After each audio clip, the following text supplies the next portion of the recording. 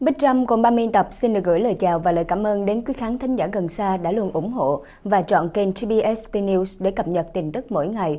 Xin kính chúc quý vị có một ngày mới thật tốt lành và bình an. Chương trình ngày hôm nay bao gồm những nội dung chính như sau. Giao tranh dữ dội tại Vuleda, thủy quân lục chiến Nga thảm bại, mất hơn 600 quân chỉ trong 24 giờ.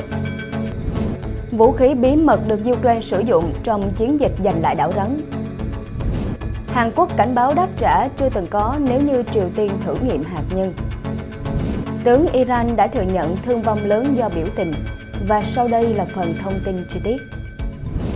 Thưa quý vị thân mến, trong một cuộc họp báo tại Trung tâm Báo chí Kiev vào sáng thứ Hai ngày 28 tháng 11, Thống đốc Luhansk là ông Serhiy Haidai đã cho biết, giao tranh dữ dội đã diễn ra xung quanh thành phố Vugleda giữa quân Ukraine và lữ đoàn thủy quân lục chiến 155 của Nga được tăng cường bởi hai trung đoàn cơ giới biệt lập. Vuleda có nghĩa là món quà than đá, là một thành phố có ý nghĩa quan trọng ở tỉnh Donetsk ở Ukraine. Dân số của thành phố này là hơn 14.000 người.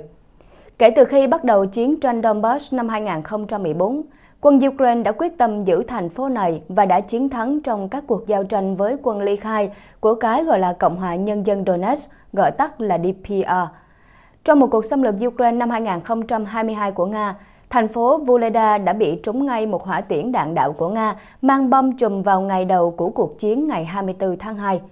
Hỏa tiễn tấn công bên ngoài một bệnh viện và giết chết 4 thường dân, làm bị thương 10 người khác.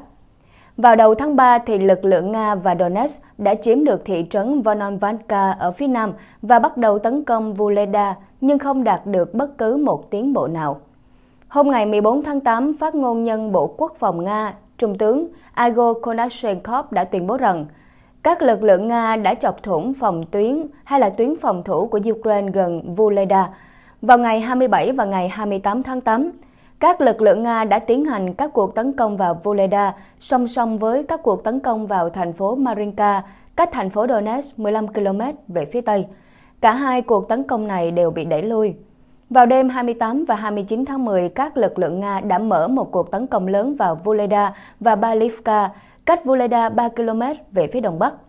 Trung tướng Igor Konashenkov đã loan báo rằng các lực lượng Nga đã phá hủy tuyến phòng thủ đầu tiên của Ukraine và tiến vào vùng ngoại ô ở phía nam Balivka vào tối ngày 29 tháng 10. Trận chiến tại Balivka, cách Donetsk 25 dặm về phía tây nam, là một mô hình thu nhỏ bi thảm về chiến dịch thất bại của Nga.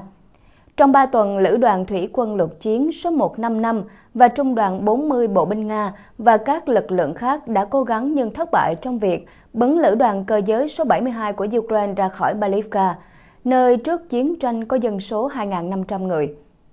Tính cho đến ngày 2 tháng 11, Thủy quân lục chiến Nga đã mất tới 300 binh sĩ thiệt mạng, bị thương hoặc là mất tích chỉ trong vài ngày đầu tiên của cuộc tấn công tại Balivka.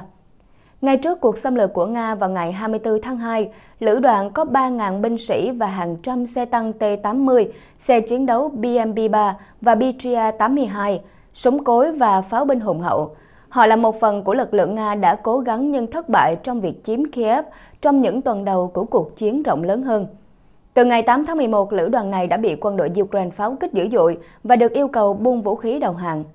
Ý định của quân đội Ukraine là bắt sống toàn bộ tàn quân của lữ đoàn này bởi vì những cáo buộc họ dính líu trong vụ thảm sát ở Bucha. Hôm thứ Hai ngày 21 tháng 11, dưới sự yểm trợ của Trung đoàn 40 bộ binh của quân Nga, lữ đoàn thủy quân lục chiến 155 Nga tháo chạy khỏi Balivka. Họ chạy thoát nhưng còn chưa tới 200 quân. Tàn quân của Lữ đoàn Thủy quân lục chiến số 155 được bổ sung quân từ những người vừa về bị gọi nhập ngũ và được tăng cường bởi hai trung đoàn cơ giới biệt lập, đã quay lại tấn công Balivka và Vuleda, đồng thời trong khoảng mấy ngày qua. Khoảng 600 binh sĩ Nga của các đơn vị này đã được ghi nhận bị loại khỏi vòng chiến đấu trong vòng 24 giờ vào ngày Chủ nhật, cùng với 4 xe tăng, 8 xe thiết giáp. Trên đường rút lui thì họ bỏ lại một hệ thống pháo, Phát ngôn nhân Bộ Quốc phòng Ukraine Trung tá Oleksandr Matachian đã cho biết, tính đến ngày 24 tháng 2 đến ngày Chủ nhật ngày 27 tháng 11, lực lượng vũ trang Ukraine đã loại khỏi vòng chiến là 87.310 binh sĩ Nga. Tổng thiệt hại chiến đấu của quân xâm lược còn bao gồm 2.905 xe tăng, 5.856 xe thiết giáp, 1.897 hệ thống pháo, 395 hệ thống phóng hỏa tiễn hàng loạt, 209 hệ thống phòng không. Bên cạnh đó còn có 278 máy bay chiến đấu, 261 máy bay trực thăng, 1.555 máy bay không người lái tác chiến cũng như chiến thuật, 531 hỏa tiễn hành trình cùng với 16 tàu chiến, 4.412 xe chuyển quân và nhiên liệu và 163 thiết bị đặc biệt. Vũ khí bí mật được Ukraine sử dụng trong chiến dịch giành lại đảo Rắn trong chiến dịch giành lại đảo Rắn thì bên cạnh các hệ thống tên lửa bờ biển và máy bay không người lái, thì quân đội Ukraine được cho là đã sử dụng các hệ thống pháo tự hành Kesa được đặt trên mặt nước để tấn công các chốt phòng ngự của Nga trên đảo. Theo tờ báo The New York Times của Mỹ đã tiết lộ về hệ thống vũ khí đặc biệt này của Kiev. Theo đó, để tăng tầm bắn cho các pháo tự hành do Pháp viện trợ, thì các kỹ sư của Ukraine đã đặt các pháo Kesha trên các bè nổi lớn và kéo chúng ra cách bờ biển khoảng 10 km. Từ khoảng cách này thì pháo tự hành cây sa cũng có đủ tầm bắn để tấn công đảo Rắn. Hòn đảo Tiền Tiêu cách đất liền khoảng 48 km. Theo The New York Times, đây là một trong những nhiệm vụ phức tạp đòi hỏi sự phối hợp nhịp nhàng giữa lực lượng công binh, hải quân và pháo binh Ukraine. Bên cạnh đó thì yếu tố thời tiết cũng rất quan trọng để có thể đảm bảo sự an toàn cho các kế hoạch trên. Pháo tự hành Keisa sử dụng lựu pháo với cỡ nòng 155mm được đặt trên khung gầm của một xe tải bánh lốp sử dụng động cơ của hãng Renault. Lựu pháo của Keisa cũng có thể khai hỏa với tốc độ 6 trên 8 phát trên phút và có thể bắn 3 phát trong vòng 18 giây. Với trọng lượng nhẹ và tốc độ di chuyển có thể lên đến 100 km/h, pháo tự hành này được cho là rất hợp để phù hợp với điều kiện chiến đấu tại Ukraine. Tư lệnh các lực lượng vũ trang Ukraine Valery Chalony trước đó đã ca ngợi khả năng tác chiến của các pháo tự hành Keisa. Tư lệnh Chalony đã cho biết Keisa là thế hệ pháo tự hành mới. Nó cho phép quân đội Ukraine khai hỏa vào đối phương với độ chính xác cao ở cự ly cách tiền tuyến từ 20 km trở lên. Ở cự ly này thì các đơn vị pháo binh của Ukraine có thể dễ dàng áp chế và tiêu diệt các sở chỉ huy, sinh lực cũng như là các đơn vị pháo binh Nga. Qua đó sẽ làm giảm sức chiến đấu của đối phương. Thêm vào đó, cơ chế vận hành đơn giản giúp các binh sĩ của chúng tôi sẽ nhanh chóng nắm bắt được phương pháp tác chiến với các loại vũ khí này. Giới chức Nga và Ukraine ngày 30 tháng 6 cũng đã xác nhận lực lượng Nga đã rút khỏi đảo Rắn. Tuy nhiên, quân đội Nga đã tuyên bố việc rút lui khỏi đảo Tiền Tiêu có ý nghĩa chiến lược quan trọng này là một trong những động thái thiện chí. Bộ Quốc phòng Ukraine lại khẳng định các cuộc tập kích dồn dập từ lực lượng pháo binh và không quân của nước này là lý do chính buộc Nga rút khỏi hòn đảo này. Theo thống kê sơ bộ của phía Ukraine, hơn 30 phương tiện chiến đấu của Nga bao gồm 3 pháo phòng không Panzer S-1, một hệ thống tên lửa Troem-2, một đài radar cảnh giới Minsk, hai pháo phản lực phóng loạt Tornado và Grad, một thiết bị phát sóng, một tàu tấn công nhanh cỡ nhỏ, hai phương tiện bọc thép chở quân, 8 xe quân sự cỡ nhỏ cùng với một kho đạn cũng đã bị các vụ tập kích của quân đội Ukraine loại khỏi vòng chiến đấu. Hàn Quốc cảnh báo đáp trả chưa từng có nếu như Triều Tiên thử nghiệm hạt nhân. Tổng thống Hàn Quốc Yoon suk yeol đã cảnh báo Triều Tiên sẽ phải đối mặt với phản ứng chưa từng thấy từ cộng đồng quốc tế nếu nước này tiến hành bất kỳ vụ thử hạt nhân nào.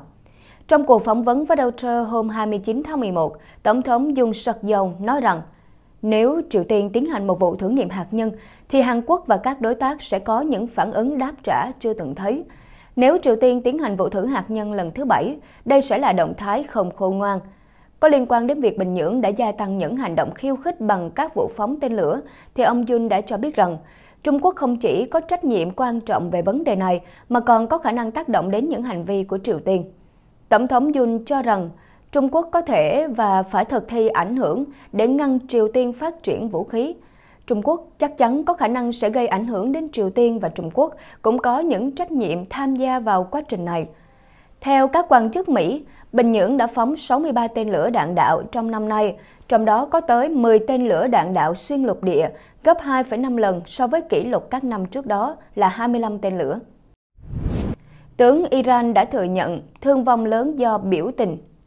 Theo hãng thông tấn AP dẫn lời tướng Amir Ali Hanijadeh đã cho biết, hơn 300 người đã tử vong, trong đó có tướng sĩ dường như ám chỉ lực lượng an ninh. Tướng Haji Trede không đưa ra con số cụ thể và cũng không cho biết ông lấy số liệu ước tính nêu trên từ đâu. Ông đồng thời khẳng định các quốc gia đối đầu Iran bao gồm phương Tây, Ả Rập Saudi đã kích động bền biểu tình. Tuy nhiên, ông không trưng ra bằng chứng. Thưa quý vị, đây cũng là lần đầu tiên mà trong hai tháng Iran đã công bố số liệu chính thức về thương vong biểu tình.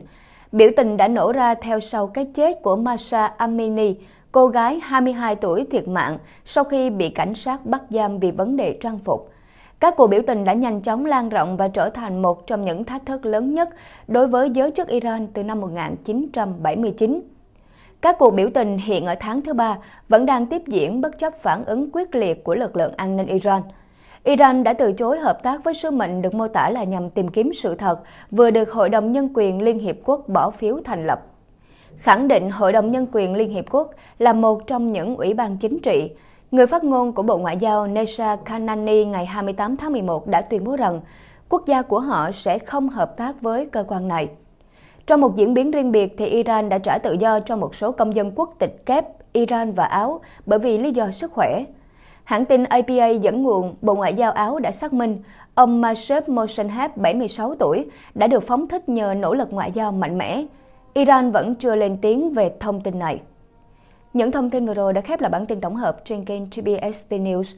Cảm ơn quý vị đã quan tâm theo dõi. Hãy cùng đồng hành với chúng tôi bằng cách bấm like, share, subscribe và đừng quên bấm nút chuông thông báo để nhận những bản tin mới nhất. Bích Trâm xin chào, hẹn gặp lại quý vị trong những bản tin tiếp theo.